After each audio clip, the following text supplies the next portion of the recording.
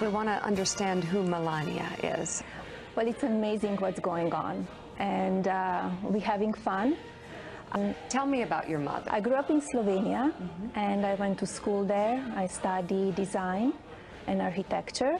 How many languages do you speak? I speak few languages. A few. Yeah, English. English, Italian, French, uh, German. What was it that you saw in Donald? Vulgarian in chief?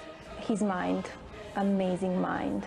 I got a list of terms that have been used to describe your husband, and they're not pretty. Uh, stupid to demagogue, jerk, idiot, racist, sexist, race baiting, xenophobic, textbook narcissist.